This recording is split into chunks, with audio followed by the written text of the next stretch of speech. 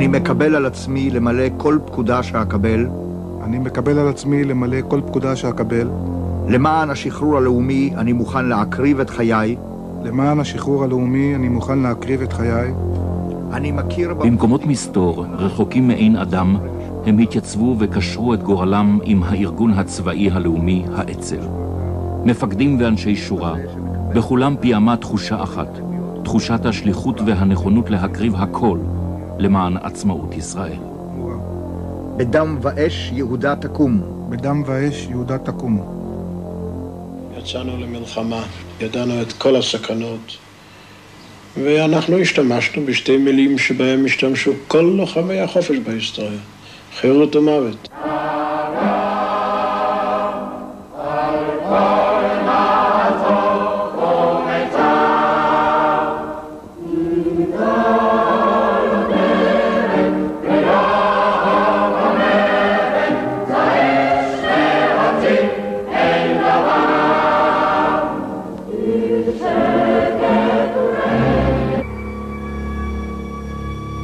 בעקבות פעולות התגובה של האצ"ל מגיבים הבריטים בתקנות חמורות. מעתה, כל מי שייתפס במהלך פעולה או בשעה שנשק בידו, צפוי למאסר עולם או למוות. אפריל 1938 שלושה מחברי פלוגת בית"ר שבראש פינה יוצאים לפעולת תגובה לאחר שפורעים ערבים רצחו שישה יהודים בכביש עכו צפת. במהלך התקפה על רכב ערבי תופסים הבריטים את השלושה והם מובאים למשפט. התביעה דורשת להטיל גזר דין מוות על השלושה. שניים מן הנאשמים, אברהם שיין ושלום ז'ורבין, נחלצים מן העונש בזכות גילם הצעיר ונידונים לתקופות מאסר ממושכות. שלמה בן יוסף, המבוגר מהשלושה, נידון למוות. בכלא עכו, באגף הנידונים למוות, הוא ממתין לגזר הדין. במכתב לחבריו הוא כותב, אני הולך למות, למרות זאת אני שמח. מדוע? מפני שיש לי הכבוד להיות הבית"רי הראשון על חבל התלייה, ועל קירות תאו הוא חורט. מוות נגד מולדת זה אפס, למות או לכבוש את ההר. מאמצי הצלתו של שלמה בן יוסף נכשלים. ביולי 1938, בראש מורם, הוא עושה את דרכו האחרונה לעבר חדר הגרדום, והמנון בית"ר נישא בפיו.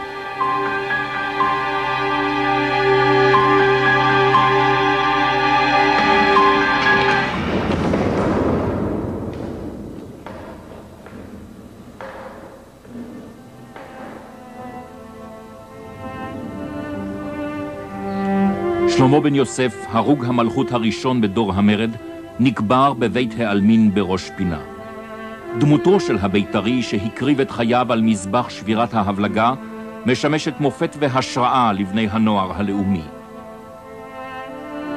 אין כובשים את ראש הסלע אם אין קבר במורד, כותב המשורר סקולסקי לזכרו, ואילו זאב ז'בוטינסקי במכתב לאם השכולה כותב: מגרדומו נעשה מגדל, מקברו היכל, מזכרו דת אזרחית.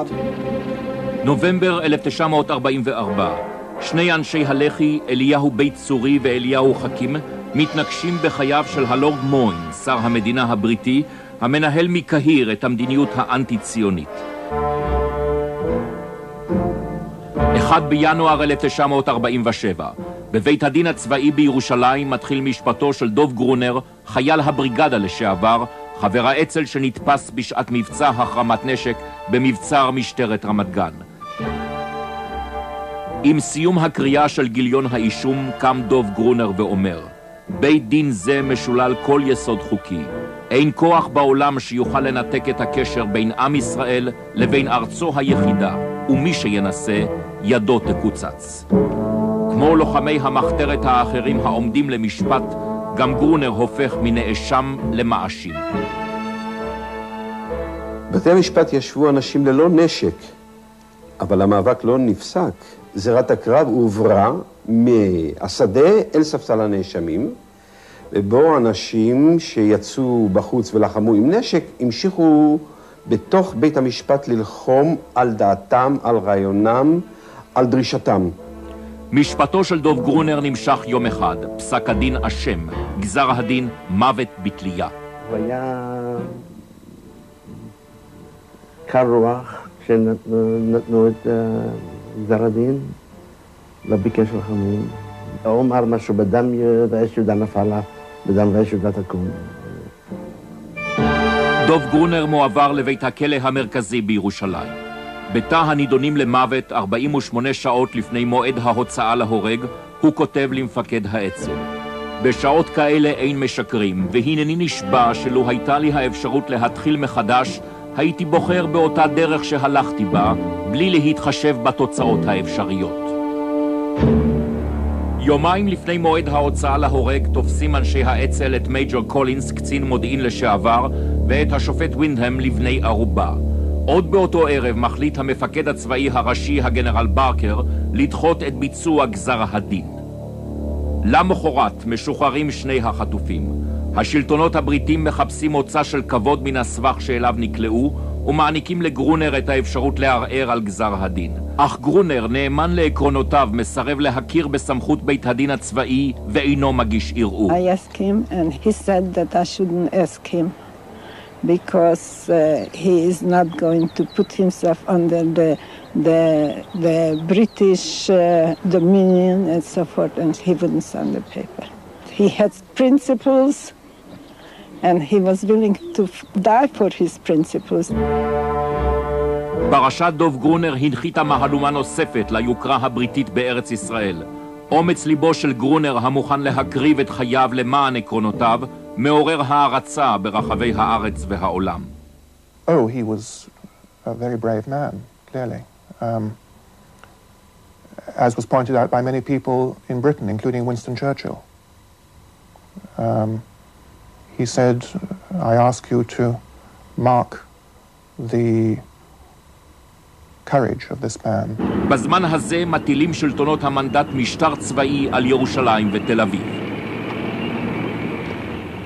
השבתת התחבורה ושאר השירותים הציבוריים, עוצר, חיפושים אלימים ומעצרים שרירותיים הם מעשי יום-יום, אולם בשביל מפקדת האצ"ל זו הזדמנות להוכיח שוב ושוב כי אחיזתה של בריטניה בארץ ישראל הולכת ומתרופפת. בזכות הסיוע הניתן לאצ"ל מקרב שדרות רחבות בציבור, רק קומץ לוחמים נתפסים על ידי הבריטים. לעומת זאת, הלח"י והאצ"ל מבצעים בתקופה הזאת עשרות פעולות. גל המבצעים מגיע לשיאו בהתקפה הנועזת על מחנה הצבא הבריטי בשנלר. המאזן האפסי של המשטר הצבאי אינו מצדיק את העומס הכרוך בביצועו. לאחר שלושה שבועות הוחלט לסיימו. לשלוט או לצאת זו הייתה כותרת מאמר המערכת של הסנדיי אקספרס שפורסם בעקבות פעולת גולדשמיד וכישלון המשטר הצבאי. בגוף המאמר נכתב היוקרה הבריטית מתגוללת באפר וחיים בריטיים מוקרבים בלא תכלית. בפרלמנט הבריטי תוקפת שוב האופוזיציה את הממשלה. את המתקפה מוביל וינסטון צ'רצ'יל. ואז קם צ'רצ'יל. זה היה היום שבו הוא דפק על, ה, על הדוכן, כן, ואמר, אי אפשר להמשיך במלחמה המלוכלכת הזאת, כן. או-או, או שתגמרו אותם, או שנצא משם. אולם מצעד האיוולת של הבריטים נמשך. בעוד הם מנסים להוכיח כי רסן השלטון לא נשמט מידיהם, מחליטים שלטונות המנדט להפעיל את הנואל שבאמצעים. בבית הכלא המרכזי בירושלים ממתינים דוב גרונר ושלושת עמיתיו לגורל, מרדכי אלקחי, יחיאל דרזנר ואליעזר קשני לביצוע גזר הדין. במפקדת האצ"ל מתגבשת התוכנית לחלץ את הארבעה. הארבעה עשר באפריל נקבע ליום החילוץ. בבוקרו של אותו יום נשלח עורך הדין של הארבעה לבית הכלא כדי להכינם לקראת הבריחה. באתי לבית הכלא כרגיל, וביקשתי לראות את גרונר ואת החברים שלו, על מנת להודיע להם על ביצוע הפעולה באותו יום. מפקד הכלא אומר לי, לא תוכל לראות פעם. נשאלתי מדוע, לא עונה, והוא אומר לי, לא תראה אותם היום. היה ויכוח בינינו, מכיוון שסוף סוף זכותי בתור פרקליט לבקר את הקליינטים שלו מתי שהוא חפש. פרקליט יהודי אומר לי, הבוקר לקחו אותם, הם בדרך, הם כעת בדרך לעכו. בשחרו של אותו יום, תחת איפול גמור, ועל פי הוראות המגיעות הישר מרחוב דאונינג 10 בלונדון, מועברים ארבעת הנידונים למוות לכלא עכו. 19 באפריל, 4 לפנות בוקר. כל יושבי הכלא עדיין נמים את שנתם.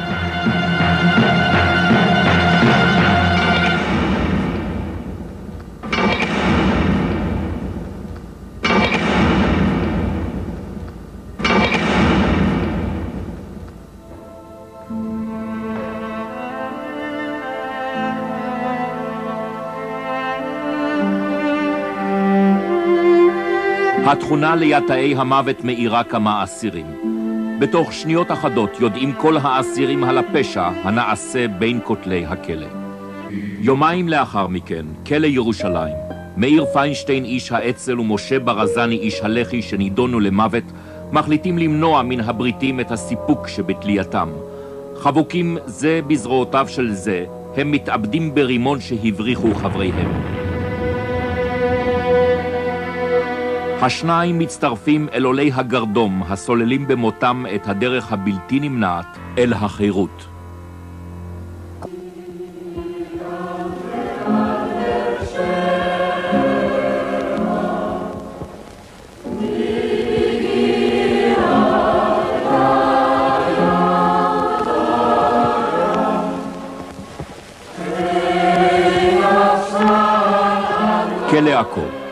בכלא השוכן על יסודותיה של מצודת צלבנית כלואים בעת ההיא 105 חברי האצ"ל והלח"י. ההוצאות להורג ממריצות את מפקדת האצ"ל להחיש את ביצוע התוכנית, לפרוץ את חומות הכלא ולשחרר את הלוחמים הנמצאים מאחורי סורג ובריח. גם בתוך הכלא מוקמת מפקדה המשותפת לאצ"ל וללח"י, שתפקידה לתכנן בריחה מן הכלא, הנחשב לאחד השמורים ביותר בעולם. במהלך החיפושים אחר דרכי בריחה מגלים אנשי המפקדה בקצה המסדרון חדר שממנו מספקים נפט לכלא. בשל קרבתו לרחוב החיצוני משתכנעים אנשי המפקדה כי זו הנקודה המתאימה לבריחה. הבעיה הייתה, אם אפשר להגיע לאותו מסדרון, אנחנו יכולים להתחייב כלפי חוץ שהם לא צריכים לשחרר אותנו עם כל המאמצים להיכנס פנימה ולהוציא וזה. אנחנו נגיע בכוחות עצמנו, בתנאי שאם נקבל כמה קילוגרמים חומר נפץ לצורך פיצוץ שני מנעולים. המידע על חדר הנפט נשלח בצופן ומגיע לידיו של קצין המבצעים עמיחי פגלין. הלה מסייר בשטח ומשתכנע. התוכנית המתרקמת, יחידה של האצ"ל תפרוץ את חלון החדר מבחוץ, בעוד העצירים יבקיעו את דרכם לעבר החלון מתוך הכלא. כדי לפרוץ מבפנים מוברחים לכלא חומרי נפץ מוחבאים בתוך פחי שמן, כדי מזון וקופסות ריבה. אחת מקופסות הריבה מעוררת את חשדו של הסמל הבריטי, והוא בודק אותה.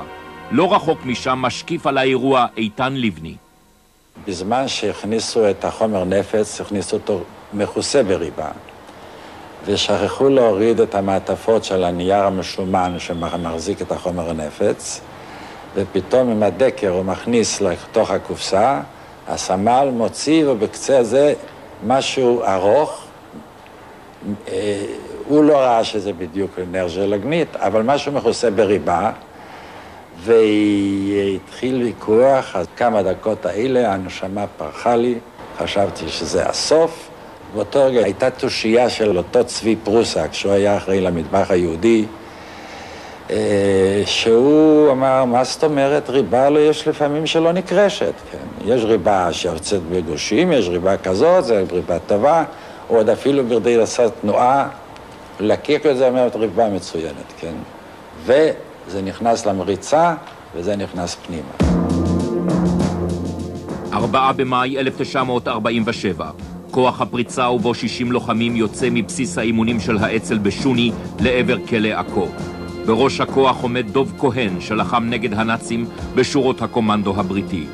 בדרכם לעבר היעד מהדהדים באוזני הלוחמים דבריו של עמיחי פגלין, גידי, שנאמרו טרם יציאתם למבצע. לפני יציאתנו הסתכל עלינו גידי ואמר לנו, זהו הגרעין של הצבא העברי. זה עשה לנו, נתן לנו תחושה שאנחנו חייבים להצליח במבצע הזה ולפרוץ את חומות כלא עכו.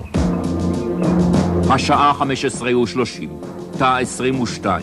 הלוחמים המיועדים להבקיע את הדרך לעבר חלון הפריצה מתכנסים לתדרוך.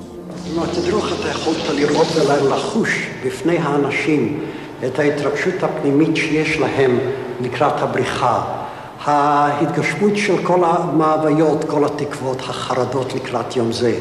אחרי שנים של לילות של פחד שמא כן נצא, שמא לא נצא. על כל פנים, זה היה היום שקיווינו שאכן הוא בא. השעה 16:00, שעת השין, אך כוח הפריצה מבחוץ עדיין אינו מגיע. כאשר עברו רגע, שניים, חמישה, והתקרב לעשרה, התחלת כבר לחשוש, כן יבואו, לא יבואו. ההתרגשות שוב פעם תפסה אותנו, וישבנו בשקט די מתוח. אפשר לומר שברגעים אלה אתה יכולת לשמוע את הלמות הלב יחד עם טקטוק השעון.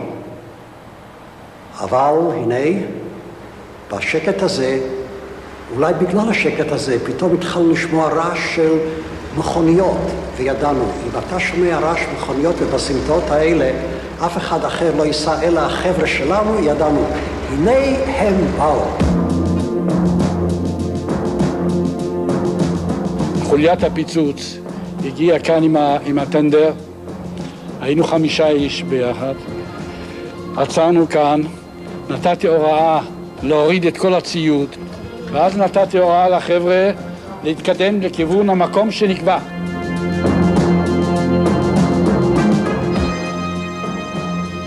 העמדנו את הסולמות למקום, כל אחד לקח מטען, עלינו על הסולמות, על הסולמות עם המטענים, תלינו אותם עם ו' שנקבע על כל מטען, ואז שנינו ביחד, הביגי זונט, נתנו את השפשוף על המטען, קפצנו והתחלנו לרוץ לכיוון ההוא לתפוס מחסה. ואנחנו התחלנו לחכות שנייה, שנייה, שנייה, מחכים, מחכים, והנה פתאום! התפוצצות אדירה. שבשניות הראשונות אני ממש נשארתי בהלם. נשמע הפיצוץ, אנחנו זונקים קדימה ורצים לעבר הסורגים ואנחנו יודעים שאנחנו חייבים עכשיו לפוצץ אותם. ואני זוכר את מייק רץ כמו כל אחד אחר שידע את מה שהוא צריך לעשות והנה מולנו פתאום בא נחשול של הערבים, כל אלה שהיו בחדרים ההם רצים ממול בקניק, בפניקה, אתה לא יודע אם אתה תצליח לעבור אותם, לא תצליח לעבור אותם. אנחנו מגיעים למקום, אנחנו הולכים לשים פה את חומר הנפץ, מייק ניגש, שם את המטען ואני ניגש, בודק חוזרים אחורה, מחכים ארבע שניות שעד שהפתיל ייגמר, נשמע פיצוץ ואנחנו מזנקים קדימה והולכים. עם הישמע רעמי הפיצוצים מוזעקים לעזרה השוטרים המוצבים בתחנת המשטרה הסמוכה. חוליית הרתק בפיקודו של אבשלום חביב מרתקת את השוטרים באש מקלעים ומונעת את החשת התגבורת. בינתיים נמשך המבצע בתוך הכלא. כוח בפיקודו של דוב אפרת מתקדם לעבר החצר. המשימה, חסימת דרכם של הסוהרים. אנחנו שפכנו דלק, הדלקנו בלפידים, והאש צמחה לכיוון הגשר, עלה מסך של אש, וכשראינו שזה הצליח ושום תנועה לא באה משם, אנחנו התחלנו להסתלק לכיוון הפריצה, לכיוון דרום. הגענו לסורגים, זה המכשול השני שהיינו צריכים לפרוץ על מנת לצאת לחופש. משה סלומון שהחזיק את חומר הנפץ, מגיש אותו, שמים, אני בודק, מדליקים, פיצוץ והדלת נפתחת. נכנסים למסדרון, היה כולו חשוך אבק מלא מסיד, לא רואים למעשה לאן שהולכים, גם הנשימה קשה. אתה משש את הקירות, אינך יודע בדרך נכונה אתה הולך או לא. אבל לפתע אתה מגיע ואתה רואה אלומת אור, ואז אתה יודע, החומה נפרצה, אנחנו הגענו לחופש. הסיסמה הייתה אנו, הם אמרו אנו ואני עניתי בנו. ברגע הראשון הם, הם, הם, הם, הם לא ירדו מיד, כי אנחנו היינו לבושים במדי צבא בריטי, אז uh, באופן אינסטינקטיבי הם נעצרו. אבל אני תכף נתתי צעקה, תרדו, הכל בסדר, אנחנו משלכם. הם ירדו כולם, היו התחבקויות, ואיתן התחיל להתחבק איתי, ו... ודוב אפרת, אני אמרתי אין זמן עכשיו לחיבוקים חבר'ה, שנצא מהעיר עכו, שנסוג אחרי כן. עם השלמת הפריצה מתקדמים הבורחים והכוח לעבר היציאה מן העיר. יחידה בריטית המזדמנת באקראי למקום פותחת באש לעבר הכוח. בקרב זה נהרגים חמישה לוחמים ונפגעים שבעה. בהרוגים גם דוב כהן, מפקד הפעולה. הפריצה לחילי עכו מותירה את הבריטים המומים. המבצע מעורר הדים ברחבי העולם ומוכתר בעיתונים כאחד ממבצעי הפריצה הגדולים בהיסטוריה. ודאי שזה היה מבצע מיוחד במינו. המקום היה מוקף מחנות צבא, העיר הייתה אז מאוכלסת כולה ערבים, הסיכון היה אדיר. זה מבחינה צבאית אחד המפעלים האדירים שנעשו אי פעם על ידי איזושהי מחתרת. יולי 1947, מאיר נקר, יעקב וייס ואבשלום חביב, שנשבו במהלך הפריצה לחילי עכו, נידונים למוות. מפקדת האצ"ל נחושה הפעם בדעתה לנפץ את הגרדום הבריטי לרסיסים.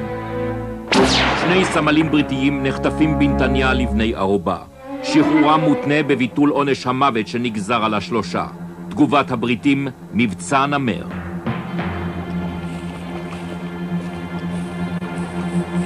חמשת אלפים חיילים בריטים סורקים את פרדסי נתניה והסביבה ומחפשים את החטופים, אך לשווא. בעקבות כישלון המבצע נסחפים הבריטים יותר ויותר לתוך המערבולת של משחק הכוח ויצר הנקם.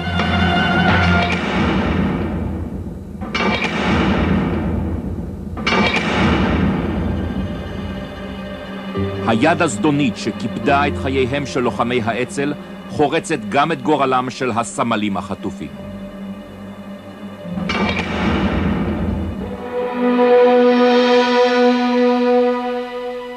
למחרת מתגלות גופותיהם של שני הסמלים הבריטיים בחורשה הסמוכה לנתניה. ההחלטה לתלות את הסמלים הייתה אחת ההחלטות הקשות ביותר שקיבלה מפקדת האצ"ל ומפקדה בכל מהלך המרד. אנחנו לא פסקנו להזהיר בכל השנים ההן, אל תעשו זאת, אל תתלו את חברינו, אל תעלו אותם לגרדום. אבל כשהבריטים לא שרו לאזהרות האלו, לא הייתה שום דרך אחרת בפנינו, אלא להשיב בתגמול. כמובן, תגמול לאכזרי. אנחנו ידענו את זאת ואמרנו את זאת במפורש. אני גם קיבלתי מכתב מאחד האבות וישיבותי לו שהוא צריך ללכת לווייטהול ולהאשים אותם על כך שבנו היה אחד מן הקורבנות. אנחנו לא רצינו לפגוע לא בבנו ולא בחברו. הדבר היחידי שרצינו להציל את חיי החברים שלנו. ולא ניתן לנו הדבר. אלמלא התגמול הזה, היו עוד עשרות אם לא מאות לוחמים מועלים לגרדום. תצלומי הסמלים התלויים המתפרסמים בעמודים הראשונים של עיתוני בריטניה גורמים זעזוע חסר תקדים. בדיון מיוחד בפרלמנט בעקבות האירוע מתקבלת ההחלטה על דעת כל הבית כי יש לסיים את המנדט הבריטי בארץ ישראל. ההחלטה הזאת משקפת גם את הלכי הרוח שרווחו בציבור הרחב ובקרב משפחות החיילים שנקעה נפשם ממותם חסר התכלית של צעירים בריטיים בארץ ישראל. היוניון ג'ק מורד מן התורן ואת מקומו תופס הדגל הכחול לבן. מטרתו העיקרית של האצ"ל ושל היישוב הושגה. בערב ההכרזה, בשידור לאומה מתחנת השידור של האצ"ל, מודיע מנחם בגין. המרד העברי הוכתר בהצלחה. הארגון הצבאי הלאומי נוטש את המחתרת. במדינת ישראל נהיה חיילים ובונים. לחוקיה נשמע כי חוקינו הם, ואת ממשלתה נכבד כי ממשלתנו היא. לונדון, בניין גנזך המדינה. האמת אינה ניתנת לטשטוש לאורך זמן. מחקרים רבים הנשענים על המסמכים העצורים במחסני הגנזך שנחשפו בעת האחרונה ועל עדויות שנגבו ממקבלי ההחלטות בבריטניה יוצרים תמונה שונה מזו שצוירה בעבר על האצ"ל ובמיוחד על חלקו בגירוש הבריטים מן הארץ. מהמסמכים בארכיון הבריטי עולה בבירור שפעולות האצ"ל הם בראש ובראשונה הגורם שמוטט את השלטון, את יכולת השלטון הבריטי בארץ לשלוט ולשמור על הסדר והביטחון. Certainly the Irgun uh, heightened awareness of the Palestine issue in Britain and, um, and, and helped to discredit British policy in Palestine. יצא לי גם uh, לראיין את uh, מפקד הכוחות האחרון כאן, הגנרל מקמילן, ושאלתי אותו את uh, השאלה הזאת uh, בדיוק, uh, בין שתי המחתרות, בין האצ"ל לבין ההגנה, מי גרם ליותר בעיות, מי הכריע יותר את השלטון כאן, ומקמילן לא היסס, וענה מיד שהאצ"ל בפעולות uh, הטרור שלו נגד השלטון, החטיפות וזה שהיו צריכים להסתגר מאחורי הבבינגרדים, uh, אלה שהפכו את החיים של הבריטים כאן לבלתי נסבלים, מחוסרי ביטחון ומחוסרי יכולת לשלוט ולהוציא לפועל את החוק הבריטי.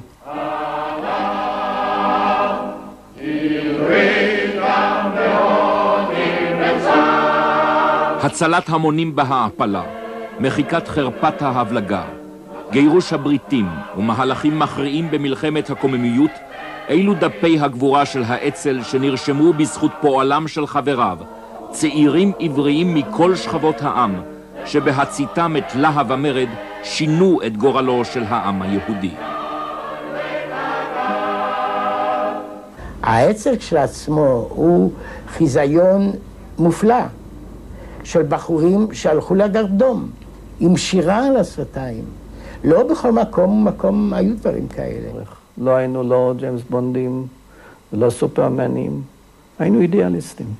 במקום שאני אביע דעתי, אני אביא אה, מובאה מדבריו של המנהיג הציוני הדגול, אה, דוקטור סילבה. הוא אמר בישיבה של ועד ציוני באמריקה, אני מצטט, האצ"ל להיכנס להיסטוריה כגורם אשר בלעדיו לא הייתה קמה מדינת ישראל. בכך אסתפק.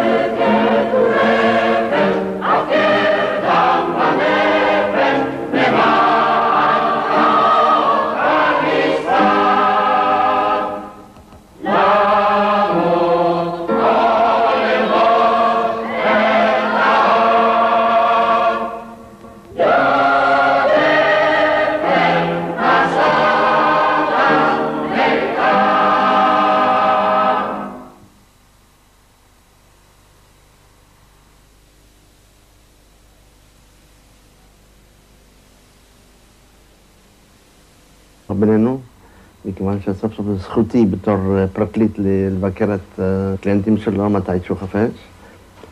פרקליט יהודי אומר לי, הבוקר לקחו אותם, הם בדרך, הם כעת בדרך לעכו.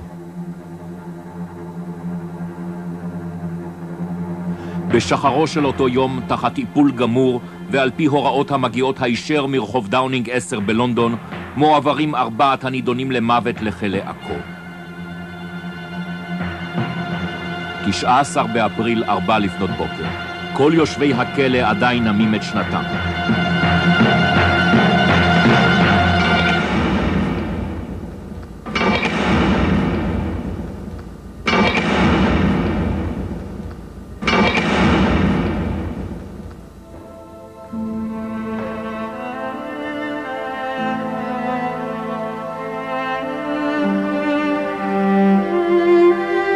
התכונה ליד תאי המוות מאירה כמה אסירים. בתוך שניות אחדות יודעים כל האסירים על הפשע הנעשה בין כותלי הכלא. יומיים לאחר מכן, כלא ירושלים, מאיר פיינשטיין איש האצ"ל ומשה ברזני איש הלח"י שנידונו למוות, מחליטים למנוע מן הבריטים את הסיפוק שבתלייתם. חבוקים זה בזרועותיו של זה, הם מתאבדים ברימון שהבריחו חבריהם. השניים מצטרפים אל עולי הגרדום הסוללים במותם את הדרך הבלתי נמנעת אל החירות.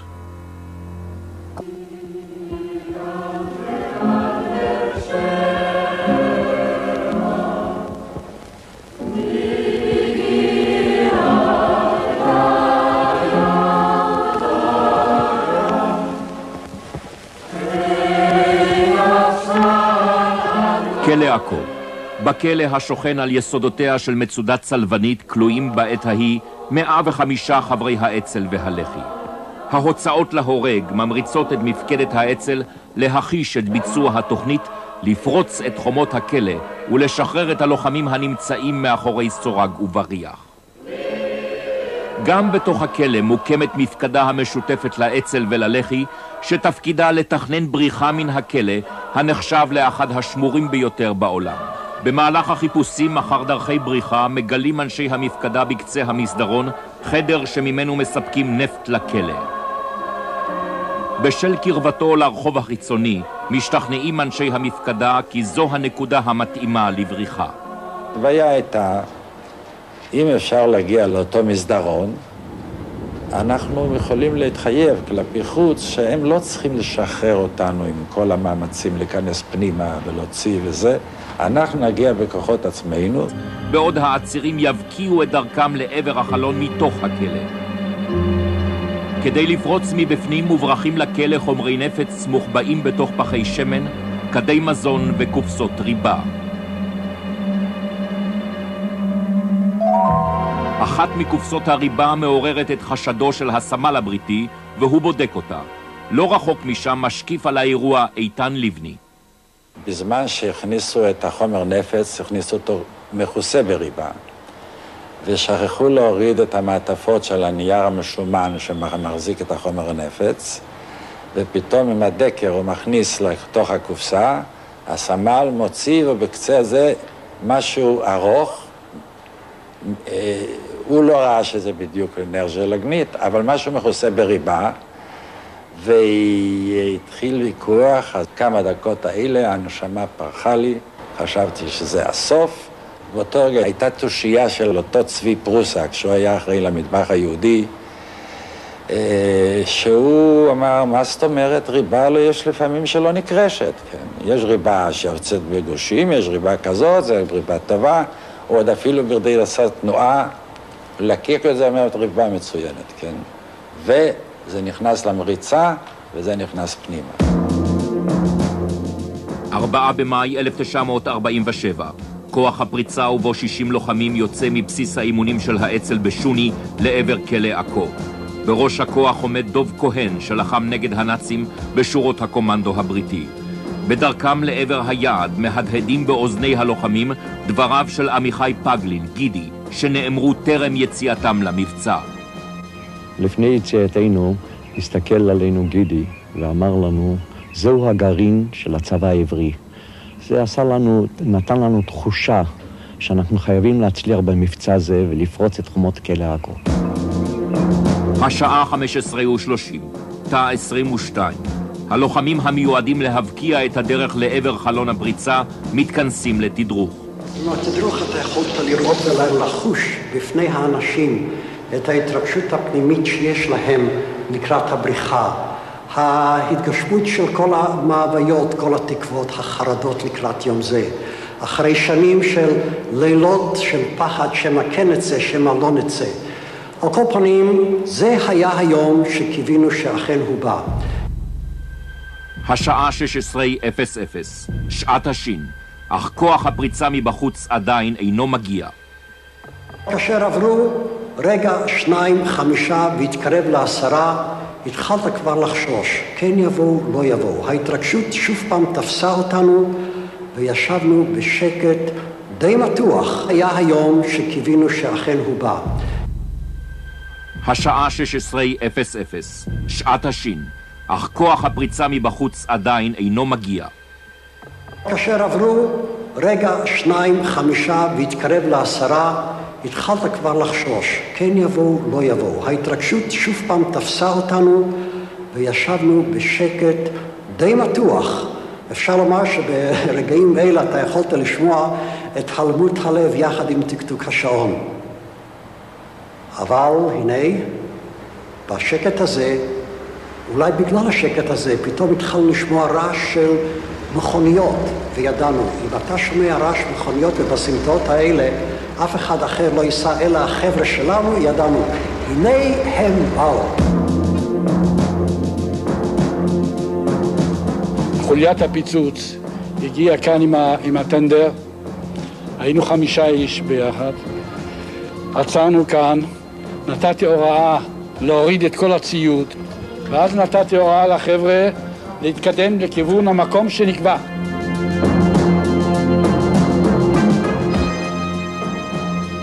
העמדנו את הסולמות למקום, כל אחד לקח מטען, עלינו על הסולמות, על הסולמות עם המטענים, תלינו אותם עם ו' שנקבע על כל מטען, ואז שנינו ביחד, הביגי זונט, נתנו את השפשוף על המטען, קפצנו והתחלנו לרוץ לכיוון ההוא לתפוס מחסה. ואנחנו התחלנו לחכות שנייה, שנייה, שנייה, מחכים, מחכים, והנה פתאום! התפוצצות אדירה, שבשניות הראשונות אני ממש נשארתי בהלם. נשמע הפיצוץ, אנחנו זונקים קדימה ורצים לעבר הסורגים ואנחנו יודעים שאנחנו חייבים עכשיו לפוצץ אותם. ואני זוכר את מייק רץ כמו כל אחד אחר שידע את מה שהוא צריך לעשות והנה מולנו פתאום בא נחשול של הערבים, כל אלה שהיו בחדרים ההם, רצים ממול בקניק, בפניקה, אתה לא יודע אם אתה תצליח לעבור אותם, לא תצליח לעבור אותם. אנחנו מגיעים למקום, אנחנו הולכים לשים פה את חומר הנפץ, מייק ניגש, שם את המטען, ואני ניגש, בודק, חוזרים אחורה, מחכים ארבע שניות שעד שהפתיל ייגמר, נשמע פיצוץ ואנחנו מזנקים קדימה והולכים. עם הישמע רעמי הפיצוצים מוזעקים לעזרה השוטרים המוצבים בתחנת המשטרה הסמוכה. חוליית הרתק בפיקודו של אבשלום חביב מרתקת את השוטרים באש מקלעים ומונעת את החשת התגבורת. בינתיים נמשך המבצע בתוך הכלא. כוח בפיקודו של דוב אפרת מתקדם לעבר החצר. המשימה, חסימת דרכם של הסוהרים. אנחנו שפכנו דלק, הדלקנו בלפידים, והאש צמחה לכיוון הגשר. היינו חמישה איש ביחד, עצרנו כאן, נתתי הוראה להוריד את כל הציוד, ואז נתתי הוראה לחבר'ה להתקדם לכיוון המקום שנקבע.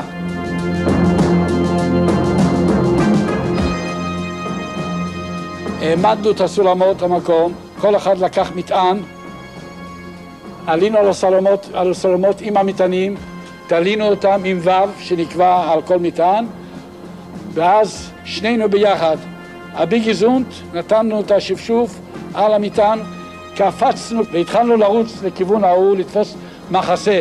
ואנחנו התחלנו לחכות שנייה, שנייה, שנייה, מחכים, מחכים, והנה פתאום! התפוצצות אדירה, שבשניות הראשונות אני ממש נשארתי בהלם.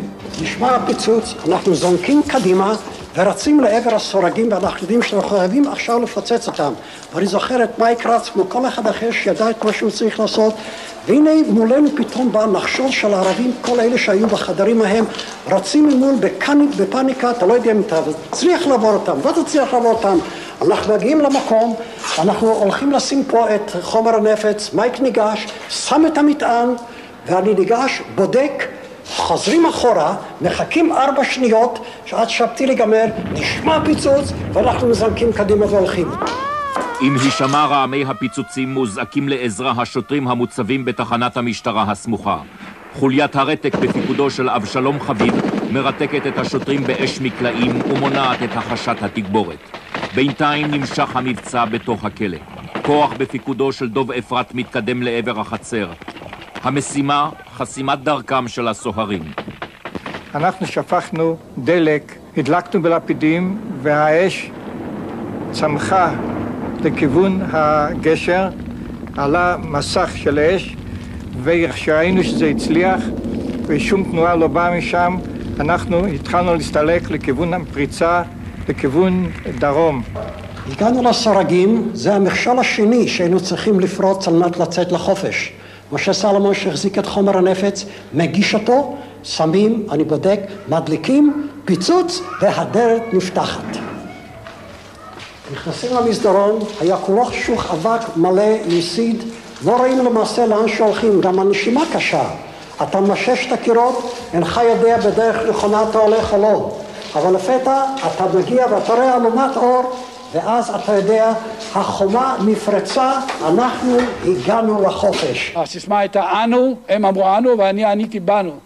ברגע הראשון הם, הם, הם, הם, הם לא ירדו מיד, כי אנחנו היינו לבושים במדי צבא בריטי. קבל כמה קילוגרמים חומר נפץ לצורך פיצוץ שני מנעולים. המידע על חדר הנפט נשלח בצופן ומגיע לידיו של קצין המבצעים עמיחי פגלין. הלה מסייר בשטח ומשתכנע. התוכנית המתרקמת, יחידה של האצ"ל תפרוץ את חלון החדר מבחוץ, בעוד העצירים יבקיעו את דרכם לעבר החלון מתוך הכלא.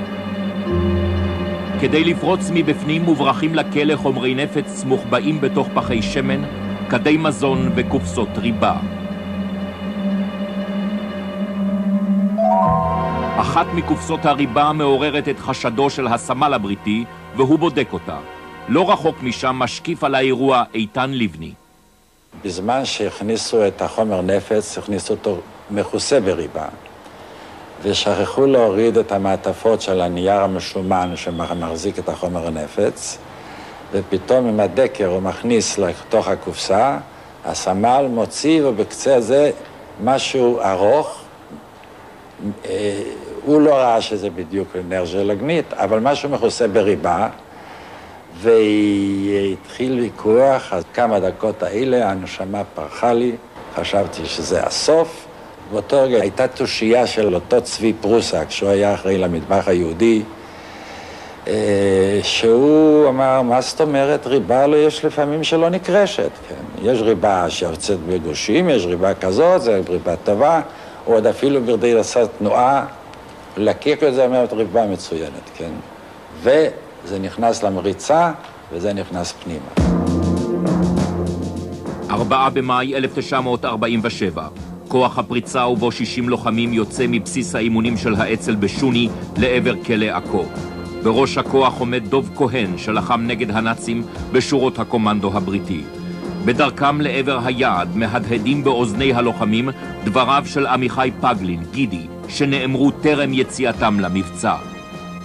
לפני יציאתנו הסתכל עלינו גידי ואמר לנו, זהו הגרעין של הצבא העברי.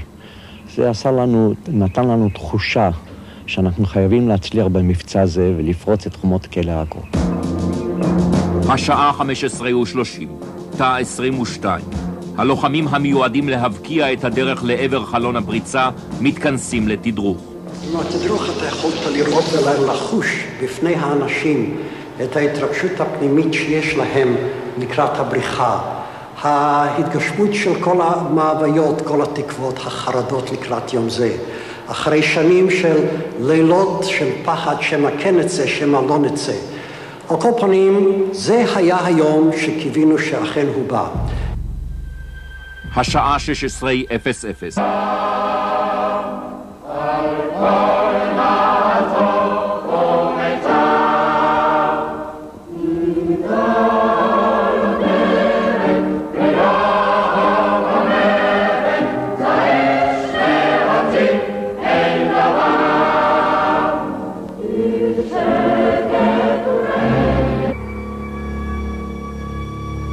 בעקבות פעולות התגובה של האצ"ל מגיבים הבריטים בתקנות חמורות. מעתה, כל מי שייתפס במהלך פעולה או בשעה שנשק בידו, צפוי למאסר עולם או למוות. אפריל 1938 שלושה מחברי פלוגת בית"ר שבראש פינה יוצאים לפעולת תגובה לאחר שפורעים ערבים רצחו שישה יהודים בכביש עכו צפת. במהלך התקפה על רכב ערבי תופסים הבריטים את השלושה והם מובאים למשפט. התביעה דורשת להטיל גזר דין מוות על השלושה. שניים מן הנאשמים, אברהם שיין ושלום ז'ורבין, נחלצים מן העונש בזכות גילם הצעיר ונידונים לתקופות מאסר ממושכות. שלמה בן יוסף, המבוגר מהשלושה, נידון למוות. בכלא עכו, באגף הנידונים למוות, הוא ממתין לגזר הדין. במכתב לחבריו הוא כותב, אני הולך למות, למרות זאת אני שמח. מדוע? מפני שיש לי הכבוד להיות הבית"רי הראשון על חבל התלייה, ועל קירות תאו הוא חורט. מוות נגד מולדת זה אפס, למות או לכבוש את ההר. מאמצי הצלתו של שלמה בן יוסף נכשלים. ביולי 1938, בראש מורם, הוא עושה את דרכו האחרונה לעבר חדר הגרדום, והמנון בית"ר נישא בפיו.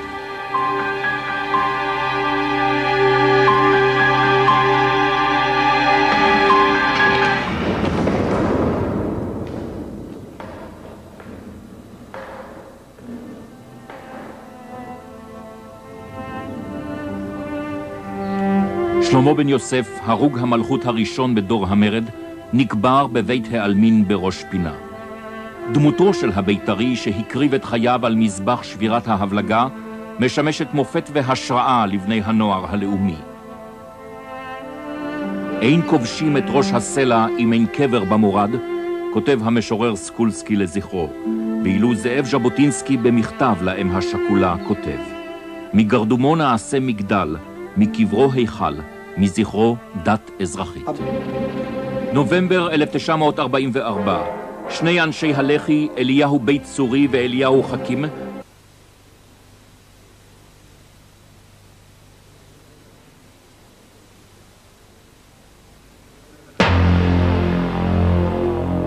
אני מקבל על עצמי למלא כל פקודה שאקבל. אני מקבל על עצמי למלא כל פקודה שאקבל. למען השחרור הלאומי אני מוכן להקריב את חיי. למען השחרור הלאומי אני מוכן להקריב את חיי. אני מכיר... במקומות מסתור, רחוקים מעין אדם, הם התייצבו וקשרו את גורלם עם הארגון הצבאי הלאומי, האצ"ל. מפקדים ואנשי שורה, בכולם פיעמה תחושה אחת, תחושת השליחות והנכונות להקריב הכל למען עצמאות ישראל. בדם ואש יהודה תקום. בדם ואש יהודה תקום. יצאנו למלחמה, ידענו את כל הסכנות, ואנחנו השתמשנו בשתי מילים שבהם השתמשו כל לוחמי החופש בהיסטוריה, חירות ומוות.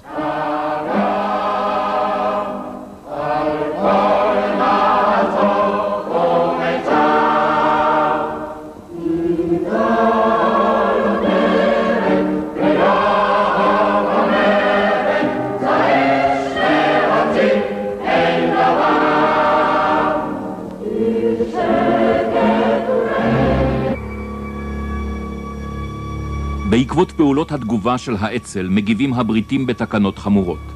מעתה, כל מי שייתפס במהלך פעולה או בשעה שנשק בידו, צפוי למאסר עולם או למוות. אפריל 1938 שלושה מחברי פלוגת בית"ר שבראש פינה יוצאים לפעולת תגובה לאחר שפורעים ערבים רצחו שישה יהודים בכביש עכו צפת. במהלך התקפה על רכב ערבי תופסים הבריטים את השלושה והם מובאים למשפט. התביעה דורשת להטיל גזר דין מוות על השלושה. שניים מן הנאשמים, אברהם שיין ושלום ז'ורבין, נחלצים מן העונש בזכות גילם הצעיר ונידונים לתקופות מאסר ממושכות. שלמה בן יוסף, המבוגר מהשלושה, נידון למוות. בכלא עכו, באגף הנידונים למוות, הוא ממתין לגזר הדין. במכתב לחבריו הוא כותב, אני הולך למות, למרות זאת אני שמח. מדוע? מפני שיש לי הכבוד להיות הבית"רי הראשון על חבל התלייה, ועל קירות תאו הוא חורט. מוות נגד מולדת זה אפס, למות או לכבוש את ההר. מאמצי הצלתו של שלמה בן יוסף נכשלים. ביולי 1938, בראש מורם, הוא עושה את דרכו האחרונה לעבר חדר הגרדום והמנון